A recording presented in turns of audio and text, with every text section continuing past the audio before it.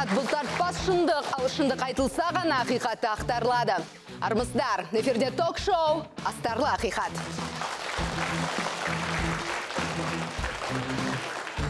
Әйелім жынды, есінің сау еместігін дәргерлер де растады. Сөйте тұра қызым неге жынды әйелдің жанында тұруы тиіс. Бұл түркістандық бір тұрғынның шағымы. Осы аптада біздің редакцияға хабарласқан. Экранға назар аударыңыздар. Әйелім ақылынан адасты деп жүрген азаматтың аты жөні Мейрам Барақов. Бір кездері ұйыған отбасы келіншегі екі қызымен тұрған мына баспанасында қазір Мейрам жалғыз тұрады. Әйеліммен жүйке жүйесі ауруына шалдыққан үшін ажырастым деген азаматтың алғашқыда қыздары өзінде қалған. Кейін сот шешімімен анасына қайтарылыпты. Жүйке жүйесі сыр берген әйелге балаларымды сеніп тапсыра алмаймын дейді ол. әйеліміз осындай бала күннен жүйке ауруымен ауырады. Енді балаға көп жақындатпаңыз бұл кісі жүйке аурулар диспансеріне үш ай жатып жаңағы әлеуметтік жәрдемақыға шығады деді енді ойдағыда. Жазылмайды деп айтты. Әйеліңіз туралы әйелім туралы сол кезде белгілі болды сол. Одан кейін мен жаңағы екі қызымды тексерттім. Дәрігерлер де өздері де айтты ұсыныс жасады екі қызды тексеру керек деп. Сонымен бірінші бір қызды апарып тексердім. Анасынан берілген онда да Мейрам Барақов, Түркістан облысы, Түркістан қаласынан біздің студиямызға келіп отыр. Мейрам мырза, қайырлы кеш.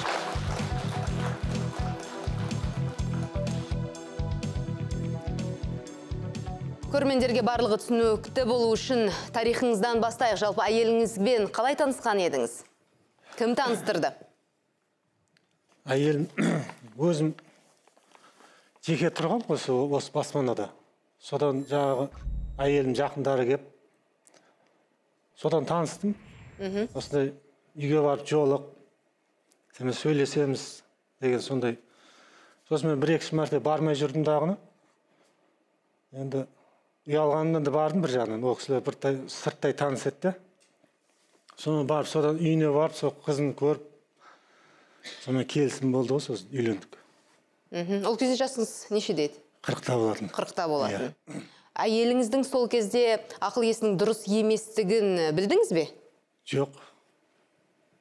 Ешқандай ондай ойымда ондай болған емес. Сіз өзіңіздің сұхбатыңызда балаларыңыздың да дұрыс ақыл есінің дұрыс еместігін айтып отырсыз. Иә. А, бұл қалай байқалды? Байқалған сол 2012 жылы октябрьде үйлендік. Содан кейін жаңағы отбасы болып бірге тұрдық. Кәдімгі үйлендім үйде. Сосын 2013-те босанды әйелім сонымен қуанышымызда шек жоқ. Өзім алғашқы қызым. Сонымен үйге алып шығып ауруханадан. Сол қарап сол өмір сүре бердік екінші мәрте босанды 2015-те тағы да қуандық. Сонымен жүре келе енді дәрігерден де бізден де ешқандай шағым болмады. Енді бала осындай ауру екен деген. Сау деген болды енді. Әйеліңіздің бойында да ешнәрсе байқалмады ол кезге дейін?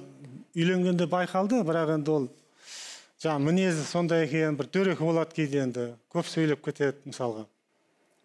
Сонымен нақты сонда қандай белгілер сіздің белгілер ойыңызда күдік тудырған үйде енді көбінесе сол жаңағы үйінде көрген қорлығын айтады. Сол күйеуге шығып сода үш ай болған енді күйеуде одан ажырап келген енді солардың бәрін айтады маған айтады. Басқа. Сонда ажырасуыңызға не себеп болды? Ажырасуыма себеп сол енді жаңағы балдарды сабай бастады ғой енді. Өсе келе үш жасқа келді үлкен қызым. Кішкентай қызым жаңағы бір жаста болатын. Ауру анықталған кезінде. Сонымен жаңағы әйелім баланы сабап тастады мен жұмыстан келсем. Нақтылаңызшы сабағанда қалай сабаған не істеген сонда? баланы жаздың жаздың кезі болатын 2016-та жаз мезгіл. Далада баланы жуындырамыз ғой көніге қыста үйдің ішінде оттыда содан арқасын шешіп қалсам жаңағы үйде жаздың күні жаңағы шыбын шыбын ұратын өлтіретін бар болатын енді шыбын өлтіргіш соның сол шыбын өлтіргіштің сабымен арқасында енді сау жері жоқ ұрып тастаған қарайып кеткен да сосын мынау не деп сұрадым мен шошып кеттім мынау не деп. Тыңдамайды сонда енді сен сен болсаң үйде жақсы болады болмаса жаңағыдай өзім жаңағыдай басым құлағым шуылдап миым дыңылдап кетеді деп айтысы бойынша содан ұрып тастадым мен жаным ашып кетті бұдан былай қайталанбайды деп айтады да өзі. Сол болған бір жағдай ма? Себеп сол болған? жағдай одан кейінгі жағдай қайталанды ма? екінші мен өзім көргенімді айтып жатырмын да. Екінші мәртесінде жаңағы тағы да сондай қайталанып сондай баланы жуындырып жүргенде қарап жүргенде болады ғой көбінесе. Сонда екінші мәртесінде алақанның ізін көрдім да. Арқасында ол да жаңағыдай сау жері жоқ ұрып тастаған үлкен қызымды әс- әсіресе қатты ұрып тастаған. Сонымен балаларыңыз не себепті ауруға шалдықты? Не себепті ауырып қалды? Соның салдары болды ма? Ұрғанның жоқ әлде басқа себеппен бе мен жаңа әйелім дәрігерге апарғаннан кейін олар тексерді ғой. Бірінші сол бұрын өзіміздің терапевт көрді. Терапевттен біз жаңағы невропатологқа жолдама сұрадық. Сол жолдама сұрағаннан невропатологқа бардық. Сол ол көрді ол невропатолог айтты. Немедленно психиатру деп екеуі де. Екеуінде де тапты ма сондай бір кінәратты денсаулығында? Әйелімді иә. Әйеліңізде де тапты балаларыңызда да? Балдарымды одан кейін қараттым ғой мен. Дәрігердің өзі де ұсыныс жасады терапевт.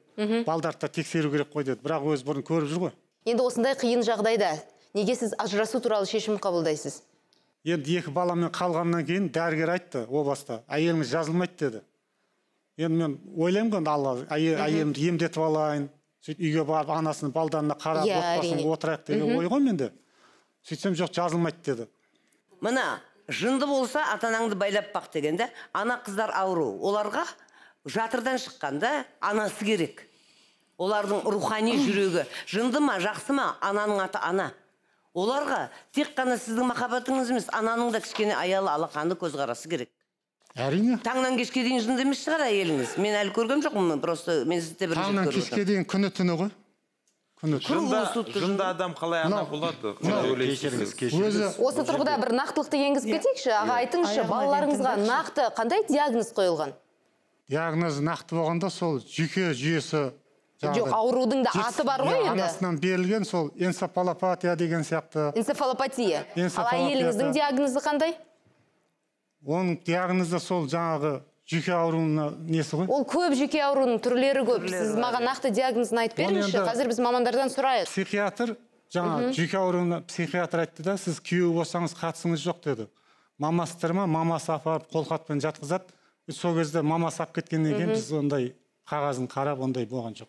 Сіз аға бізге көптеген құжаттармен келіп тұр екенсіз. Қазір көрсетеме Иә, деп едім. құжаттарым көп, мұнда не деп жазылған?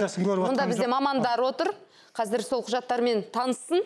Мұнда диагнозы иә мына кішкентай тағы да қызымның қандай құжаттарыңыз бар? сіздің әйеліңізді есепке тұрғызды ғой иә сонда психоневрологиялық орталыққа? есепке алып қазір де есепте тұр ма? Есептен шығарды ма? қазір енді сол 2017 жылы ноябрьдің сол ондарына есептен шықты деген қағаз алып алды есептен шықты Иә, деген иә, қағаз алып алды иә. десе А, айтып жіберіңізші жалпы егер есепке алынған болса науқас кейін есептен шығуы мүмкін бе? Әрине енді бұл жерде ә, біріншіден аурудың түріне байланысты.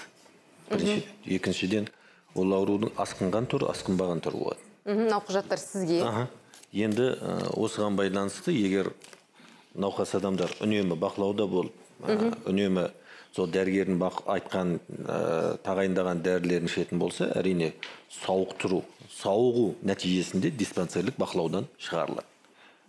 Енді қымбатты сарапшылар сіздерге ортақ сауал қалай ойлайсыздар? Осы ә, психоневрологиялық орталықта есепте тұрған кейін есептен шыққан әйелге мысалға бала тәрбиесін сеніп тапсыруға болады ма?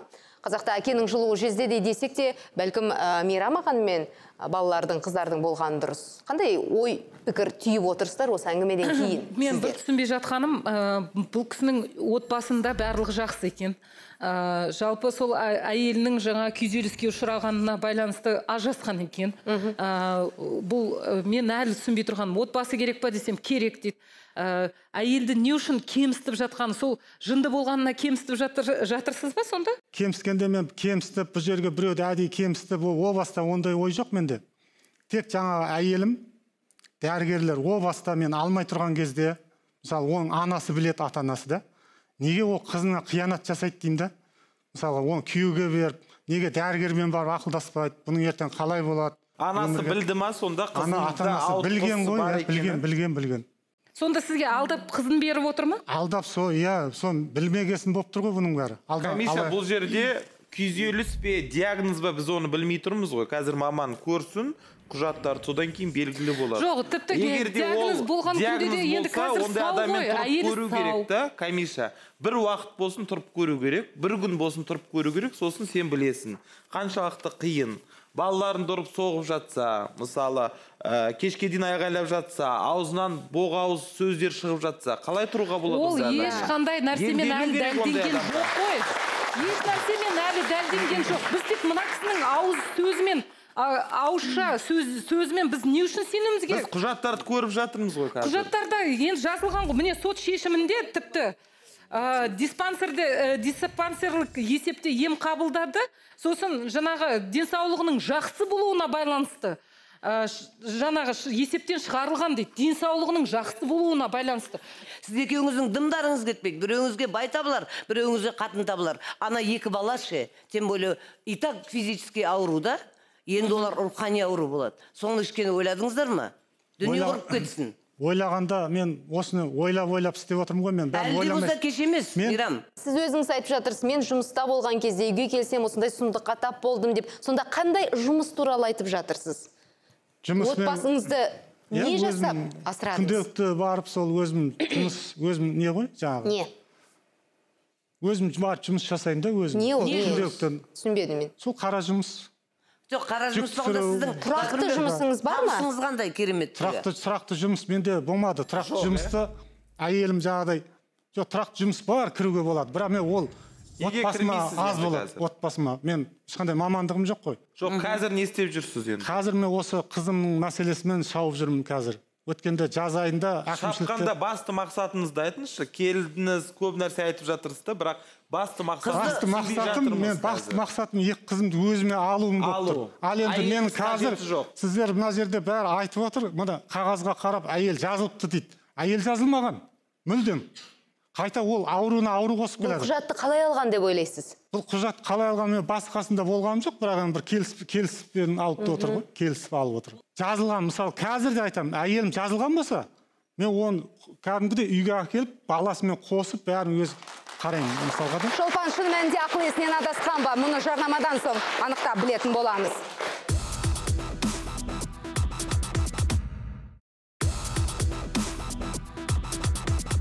Әйелім ақылынан адасты деп жүрген азаматтың аты жөні мейрам барақов. Бір кездері ұйыған отбасы келіншегі екі қызымен тұрған мына баспанасында қазір мейрам жалғыз тұрады. Әйеліммен жүйке жүйесі ауруына шалдыққаны үшін ажырастым деген азаматтың алғашқыда қыздары өзінде қалған. Кейін сот шешімімен анасына қайтарылыпты. Жүйке жүйесі сыр берген әйелге балаларымды сеніп тапсыра алмаймын дейді ол. Ұрып жындырған дегенге келген ғой енді ол. Кісі. маған жала жаппақшы болған да бала күннен ол ондай психический ауру болған емес ол. Көрдім. Екеуі жұлысып қалады дағы ана қыз. Қай, қай жер болса сол жерін істейді. Ата енесі айту керек қой маған. Қызымыз осындай ауыратын еді. Жоқ бұлар жасырған. Барлықтарыңызға жұмбақ болып тұрған ол шолпан кім?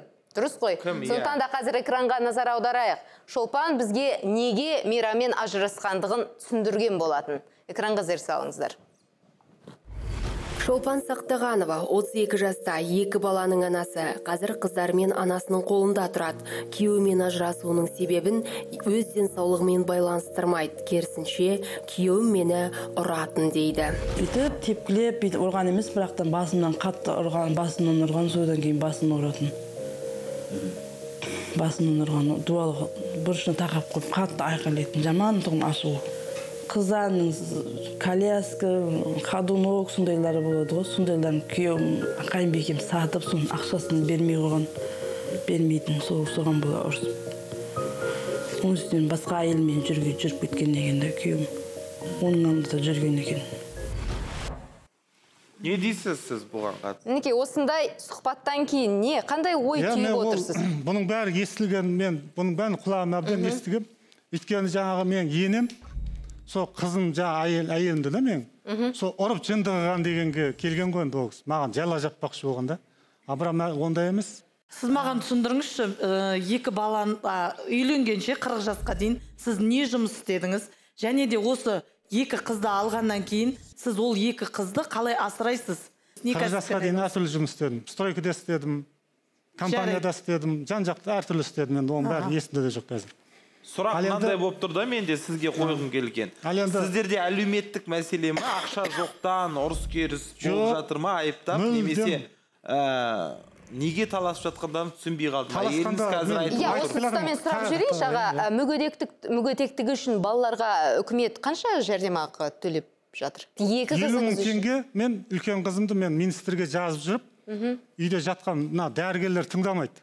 Министрге жазғаннан кейін барып олар іздеді бір екі ай үш айдан кейін хабар келіп сізді іздеп жатыр деді соны жаңағы больница неге жатқызды ауруханаға?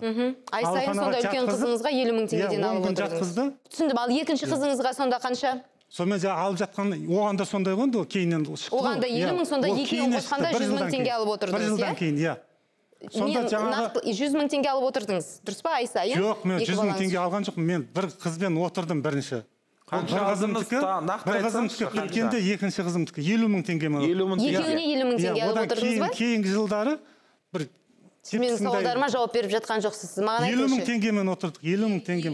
Екі балаға мүгедектікке қанша қазір алып отыр әйел Қазір өмір пенсияға?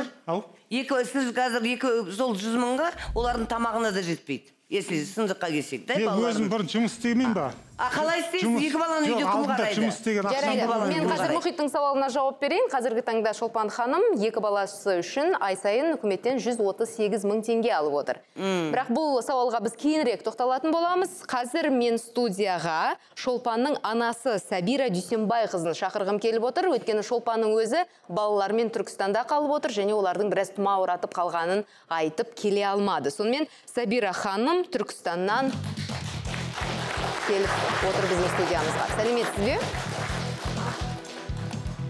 енді күйеу балаңыздың бұрынғы күйеу балаңыздың не айтып отырғанын естіген шығарсыз? Қаншалықты сөздері шындықпен жанасады? Бала күннен ауыратын ба еді? Жоқ әлде басқаша ма? Бала күннен ол ондай психический ауру болған емес ол. Болған ол емес кәдімгі полноценный бала болды менің қызым. Демек сіз мейрамға сау қызды беріп отырсыз сау қызды бердім. Мен мейрамға ал мынаны тұрыңыз мысалы мейрамнан бастамайық арғысынан бастайық. Алдында күйеуге шығып қанша үш айдай уақыт тұрмысқа шыққанда ол осы мейрам не себептен қайтыс мен айтайын сіздерге мынау мейрамменен кездесіп жүрген менің қызым да кездесіп жүргенде кентау қаласына барды. Кентауға барсам мен сіңлім тұрады кентауда. Сөйтіп соның көршісінің баласы бар екен. А, сіңлісінің баласы ма әпшесінің баласы ма? В общем солар таныстырған танысқан дархан деген жігіт. Дарханменен екеуі сөйлескен. Олай сөйлесіп былай сөйлесіп осы бір ай екі айдың арасында оның мамалары келді біздің үйге.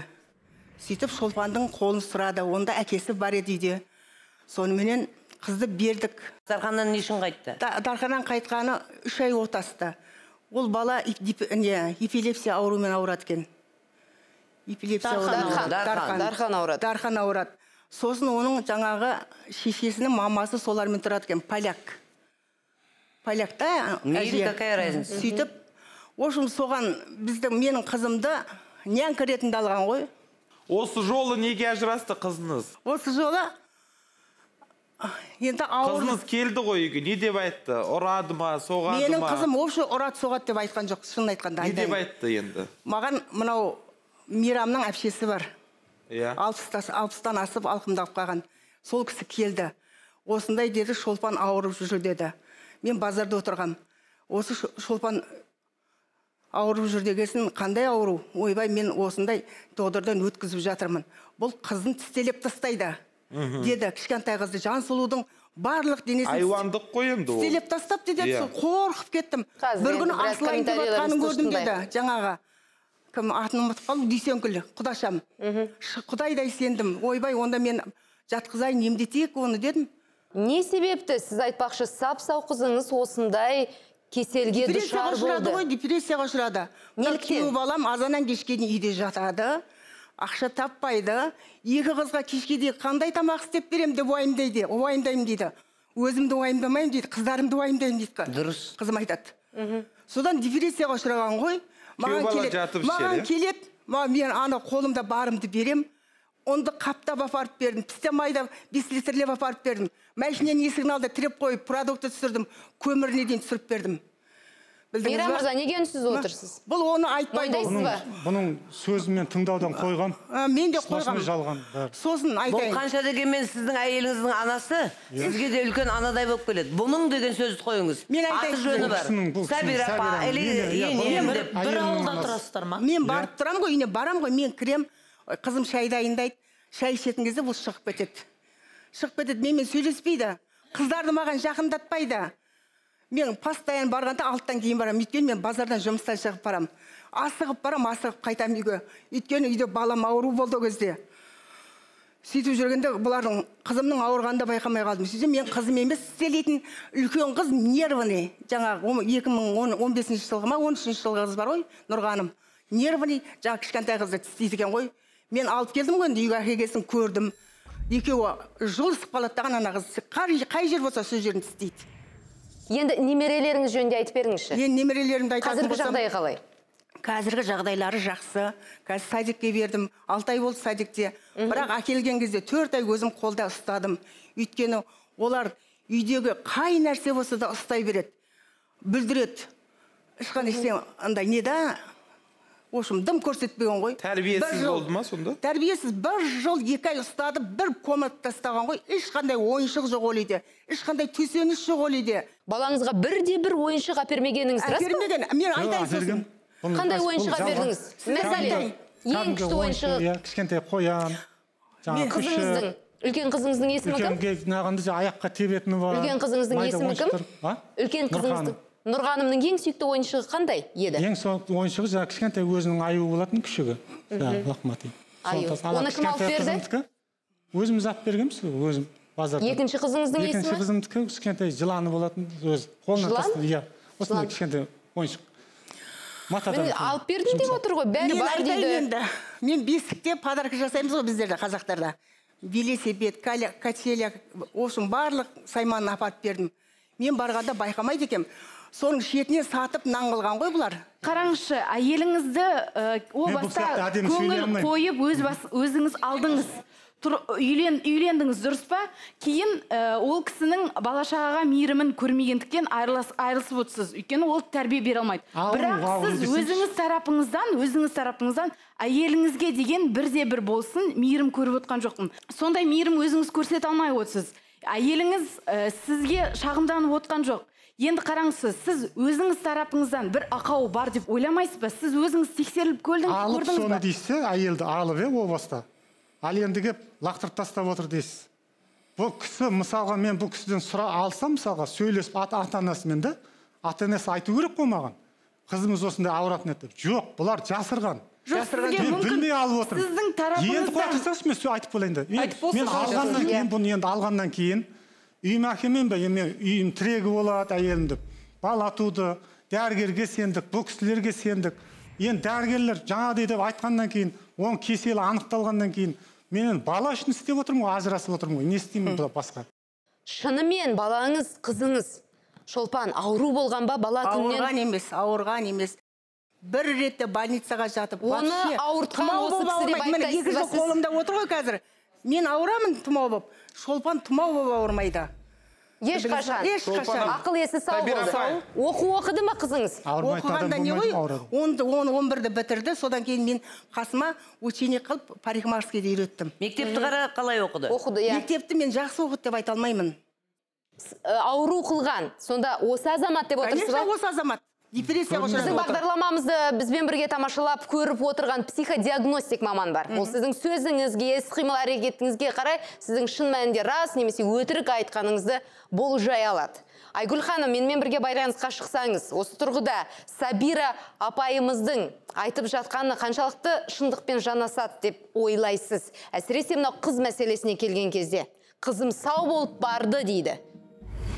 Мына біріншіден мейрам барақовқа келетін болсақ келгеннен бастап иығын төмен ұстап отырды және де көзін қайтада жапалақтап отырды ернімен қайтада тістеніп шығарып отырды. Оның белгілері өзіне деген сенімсіздік ортаға өзін еркін ұстай алмай отыр қобалжуда. Сабира апайымызға қатысты айтыңызшы. Мен ол кісіге нақты сауалды қойым. Шынын айтып отырсыз ба? Жоқ әлде сіз алдап қызыңызды бердіңіз бе деген. Сол кездегі эмоциясындағы жағдай не болды? Жарайды. Ә, сабира ханымға келге- ә, келетін болсақ келгеннен бастап өзін еркін ұстады иығын жоғары көтеруде барлық айтқан сөзі анық айтып жеткізіп отыр. Және де дауыс ырғағы жоғарыда оның айтқан сөздері шындыққа ұласады. Жүз пайыз сенуге болады. Ақиқатын айтып тұрған кім? Шағын жарнамадан соң тақырыпқа ораламыз.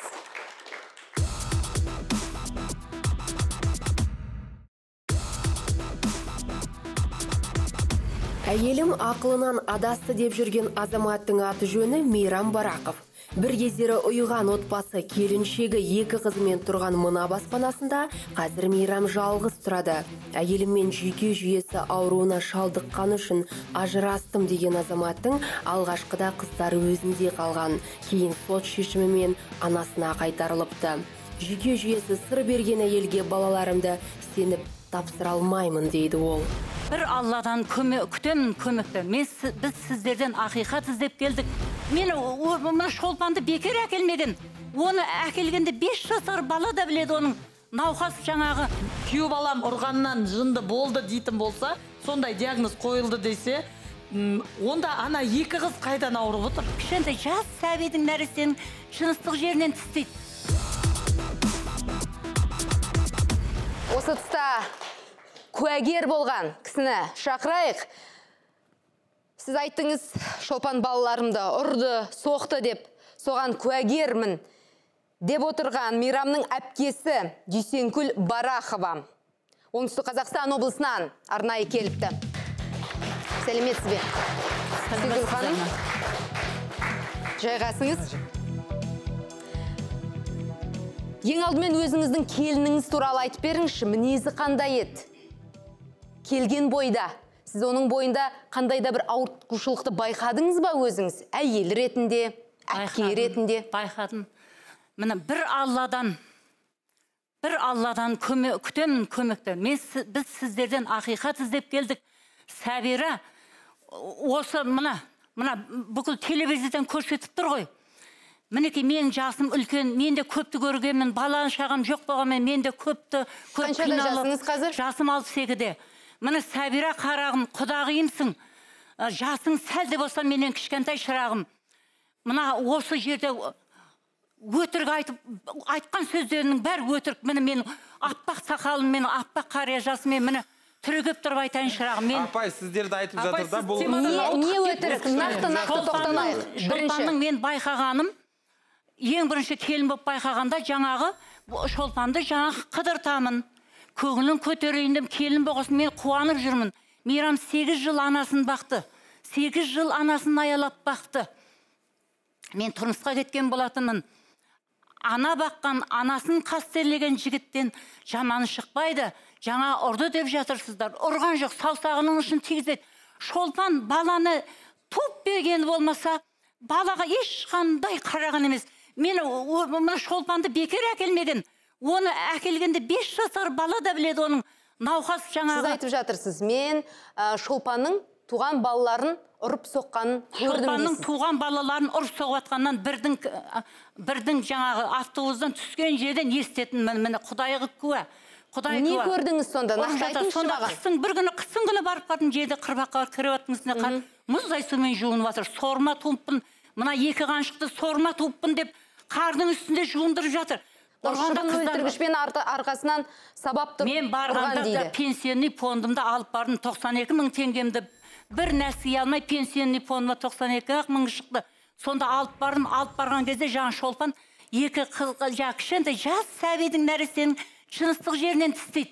Қызыңыз осындай істеуі мүмкін бе? Мүмкін де емес істеген де емес жала бұл сотта айтылған сөздер бұның бәрі сотта айтылды. Ешқандай сот бұларға не қылмады. Соттың шешімі қандай болды? соттың шешімі тоқтай тұрыңыз. егер бұның тірлігі дұрыс болса фактімен сол ұрған кезде факті болды ма? Факті жоқ сосын барып шешім бізге шешілді. Факті болды ол болған фактілердің бұрмалап Әңгімесінің бәрі фактісіз адвокаты жаңағы бақытжан сұлтан екеуі бұрмалап мынау. Ешқандай бұрмалау деген жоқ. Әбибулла үшеуі тоғыз рет бұрмалап. сот болды. Екі рет менің апелляция сөзімді бөлме тоқтаңыз. жасың кіші сен менің сөзімді қай- қай бетіңде сөзді- ұят жоқ екен қазір сенің мақұл сөйлеуге де мүмкіндік берейік не жалған не бәрімін. жалған не өтірік мен айтып сіздің ойыңызша?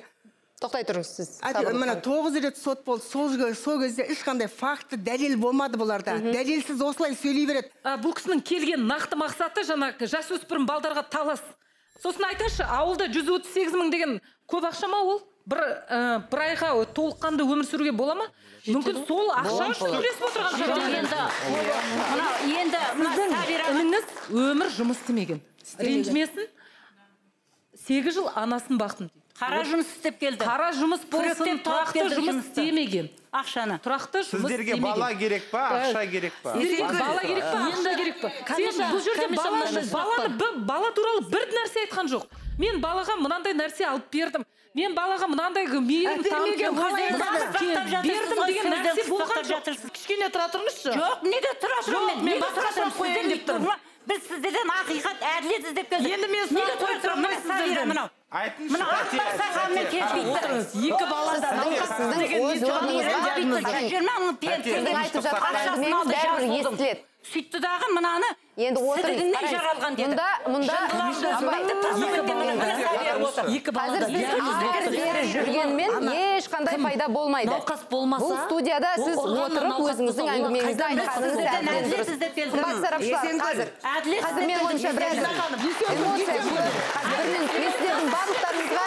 Бір өз ойларыңызды айтуға мүмкіндік беремін бірақ менің ойымша қазір біз нақтылық енгізуіміз керек. Өйткені бос әңгіме бос эмоция болып бір жатыр мынандай сұрақ болып тұр. Айқай шу кезде біз ақиқатқа жете алмаймыз. Меніңше қазір біз шолпанды тыңдауымыз керек. Бала шағасын ұрады деп жатырсыздар. Ұрасыз ба қалай ұрасыз не істейсіз деген сауалды біздің тілшілеріміз шолпанға қойған болатын. Экранға назар аударуларыңызды сұраймын. Баба ұрып тастаған емеспін денесін көгерткен емеспін қызартқан емеспін. Кейбір ата аналар пешке салып жібереді баласын деп не алады ғой мен ондайдан ай- аяймын бала шаға қыздарымды. Пешке салып жіберуден ба? Біреудің енесі пешке салып жіберген дейді да баласын. Біз барлығымыз шолпанды естіп тыңдадық.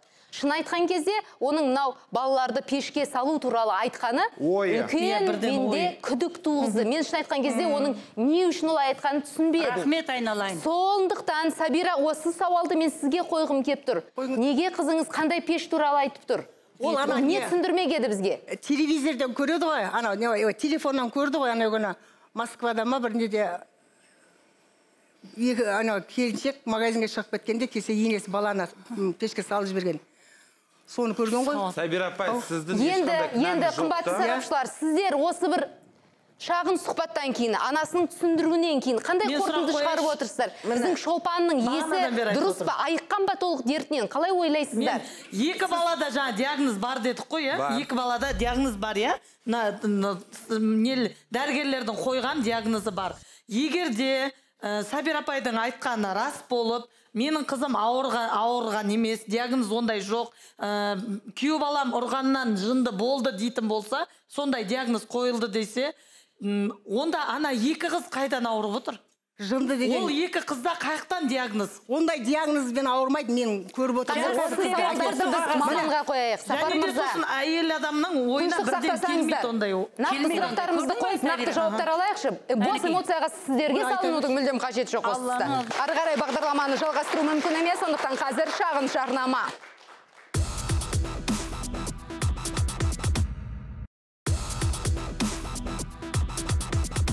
Әйелім ақылынан адасты деп жүрген азаматтың аты жөні мейрам барақов. Бір кездері ұйыған отбасы келіншегі екі қызымен тұрған мына баспанасында қазір мейрам жалғыз тұрады. Әйеліммен жүйке жүйесі ауруына шалдыққаны үшін ажырастым деген азаматтың алғашқыда қыздары өзінде қалған. Кейін сот шешімімен анасына қайтарылыпты. Жүйке жүйесі сыр берген әйелге балаларымды сеніп тапсыра алмаймын дейді ол. Ол екеуіңіз де көкбеттіктен сіз қазір өзіңіз ұстай алмайтын көкбетсіз а сіз өзіңіз ұстап отырып қанішер көкбетсіз пособиясына таласып отырсың ғой получается. Жоқ. Өзім онда бермеңіз қызыңызды. Бермеймін. Неге талас болып жатыр айтыңыздаршы маған. Құжатты бер құжат. бақылау қызметін шақырыңыздаршы мұнда. Сапар мырза қазір ғана сұхбатты естідіңіз. Анасының берген жауабын естіп тұрсыз. Шолпанға өзіңіз маман ретінде қандай баға беретін едіңіз? Жоқ бұл жерде енді жалғыз айтылған сөзбен ә, айтыл анасының сөзінен бір қорытынды жасауға болмайды. әрине? Мына құжаттардың да негізінде. Енді мына құжаттарға қарап отырсақ қазіргі балдардың ә, негізгі мамандардың қойған диагнозына келетін болсақ мысалы мынау бізде ә, кім? Нұрханым. Нұрханым ә, диагнозы бойынша ә, орталық нерв жүйесінің резидуальды органикалық зақымдалуы дейді. Ол зақымдалу мынау ә, біріншіден ананың құрсағында жатқан. Кезде болатын нәрсе резидуальды деген нәрсе ол бала құрсақта жатқан кезде мысалы анасы тұмаумен ауырып қалса я болмаса құлап қалып бір жарақат алған кезде мынау белгілі бір уақытта мысалы ми дамиды жүрек дамиды сол даму кезінде тұмаумен бір нәрсемен ауырса сол кезде зақым келуі мүмкін. Резидуальды органикалық зақымдалу орталық нерв жүйесі. Оның салдары қандай болуы оның мүмкін салдары оның оның салдары әртүрлі. Енді мына жерде жаңағы ә, бас миқам жаңағы давлениесі соның кесірінен жаңағы психикалық дамуының тежелуі деген. иә. бұл жерде бұл енді бұл ә, біріншіден анасынан беріліп жатқан тұқым қуалайтын ауру емес бұл.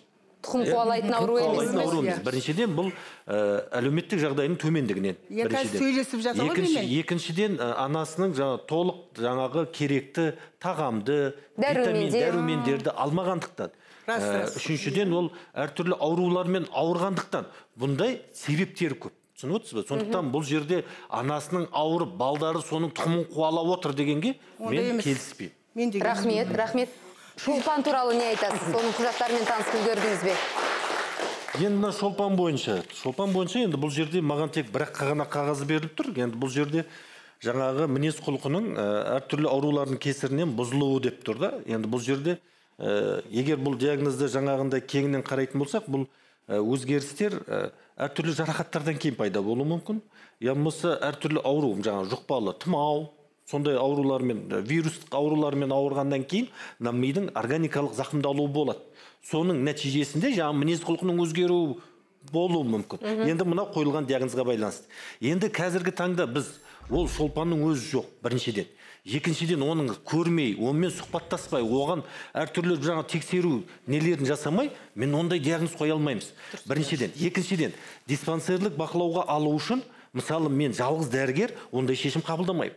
Ондайды үш адам қабылдайды үш психиатр дәрігер қабылдайды. Екіншіден бұл жерде жазылып тұр диспансерлік бақылаудан алынған деп. Ол диспансерлік бақылаудан алу үшін да бір дәрігер шешім қабылдамайды. Оны жаңағы консультативті Комиссия болды дәрігерлік комиссия құрылады. Құрылды. соның нәтижесінде сондай шешім қабылданады.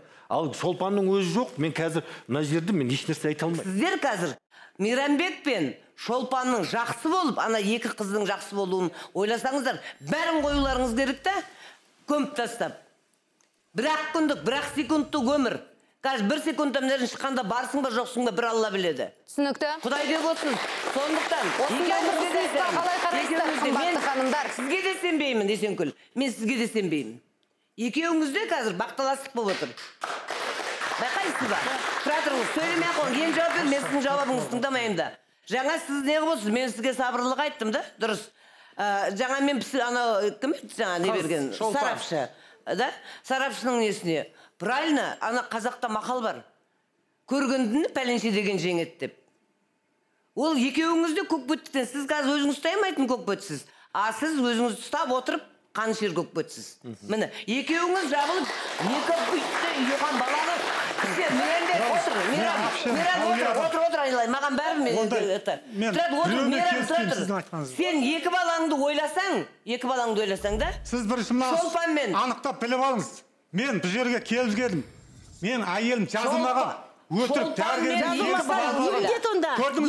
Соны біліңіз. Кім? сосын кейін маған айтыңыз. Мейрам мен сізге айтып отырған жоқпын. Екі қатынды да тыңдамай сен өзіңнің екі қызыңмен әйеліңді ойла. Тұрғысы келмейтін жақсы болып кетуі ғой мүмкін.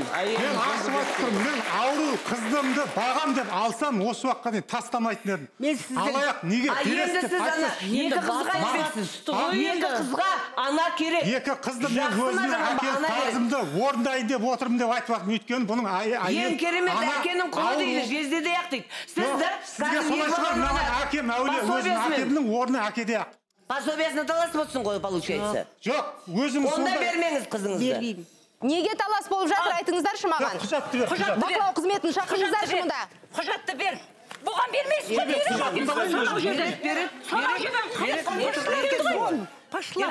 Тоно, что, ну, что, Барша, барша.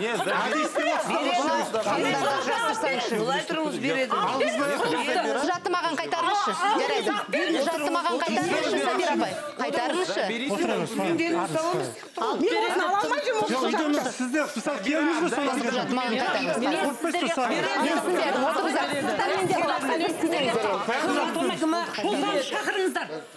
отырыңыздар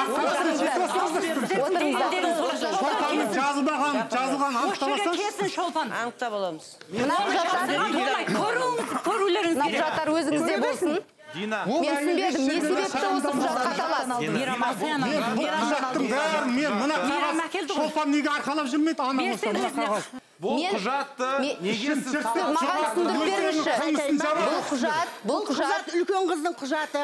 Мен Неге шолпанның маған істегені мені ұрып соғып, құжаттарды алып қашу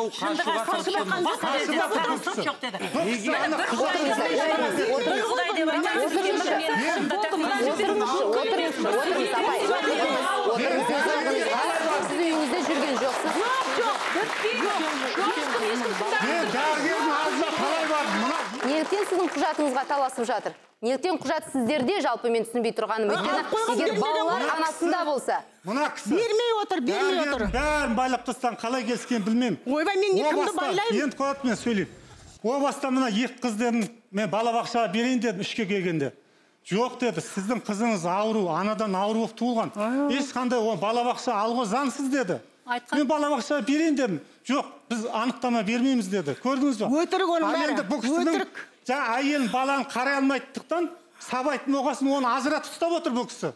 Көрдіңіз ба? Мен заңгерлерден сұрағым келіп отыр. Бұл құжат кімдерде болу керек?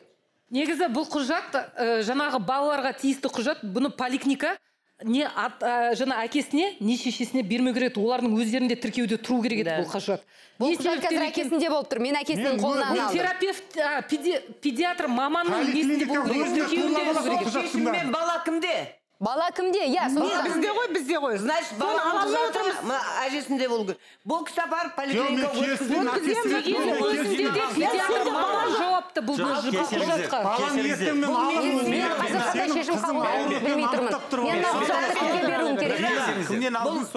медициналық құжат поликлиникада сабырлық сақтаңыз сабырлық. Сабырлық сақтайық. Надо отдать ең бірінші сабырлық сақтауымыз керек. Біріншіден екіншіден мынау біздің сіздердің істеп жатқан іс қимылдарыңызға қарап бала түгіл басқа нәрсені де беруге мен қорқып қалдым. Да. Дұрыс енді бір ауыз. біріншіден Екі да. екі жақта енді үшіншіден өздеріңіз білесіздер заң бар. Бала 12 жастан кейін бар өзі таңдайды. Таңдайды. әкеммен тұрамын мен анаммен тұрамын болды. 12 12 жастан. Сондықтан сол уақыт келгенше ол уақыт келгенше баланы ғой. шешімі Қайта жақсы қыламын мен балаңды. соттың шешімі шыққан екіншіден мынау балаға байланысты құжаттар Иә. Сөйлейді. анасы анасының қолында ма балдар соны сол жақта болу керек неге өйткені өйткені дәрігерлермен қазақстанда министрлікпен вообще келіспеймін мен өйткені қиянат жасап отыр екі балаға олар ауру шолпанды қазір сау деп отыр көрдіңіз ба Жоқ, қазіргі таңда шолпан ауру Жоқ, сіз соны біліп алыңыз деп сау отыр бірінші баланы ертең мен иә оны сізге беремін бірақ сіз оны емханаға барасыз ба о баста бәрі алған кезде мен сізге қайтарып беремін бірақ сіз маған уәде беріңіз емханаға апарып беремін қазір барлық иә